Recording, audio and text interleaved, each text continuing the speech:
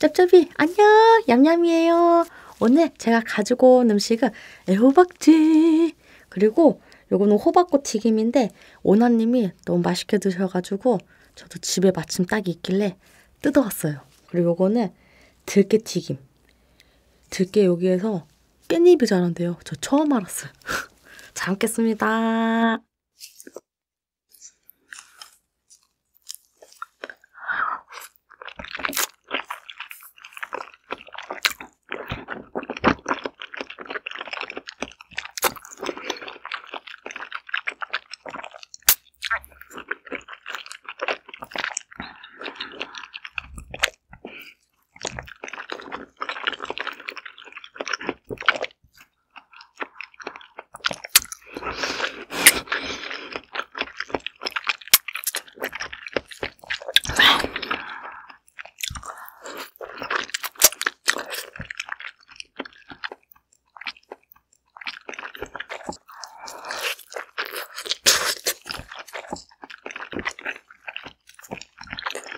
음.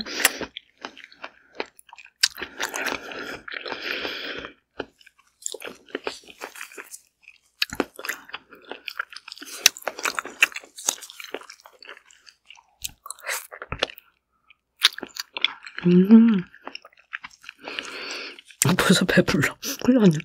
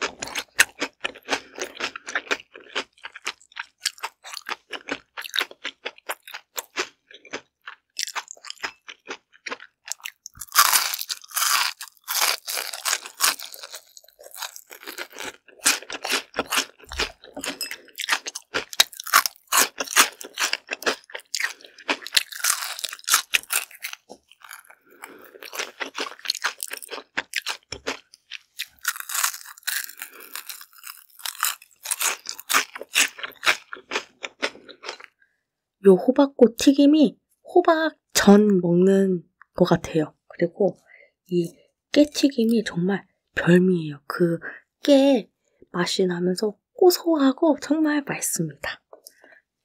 다시 요거 도전.